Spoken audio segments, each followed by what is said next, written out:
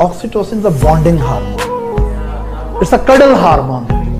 When one human being touches the other human being, in both of them, their body, there's a release of oxytocin. And if you touch someone again and again and again and hug and kiss and right, usually females release more oxytocin as compared to the men. That is why usually female get more strongly bonded with the men and men do get bonded but weakly and they can drift away easily. And women can never understand why men don't remain loyal.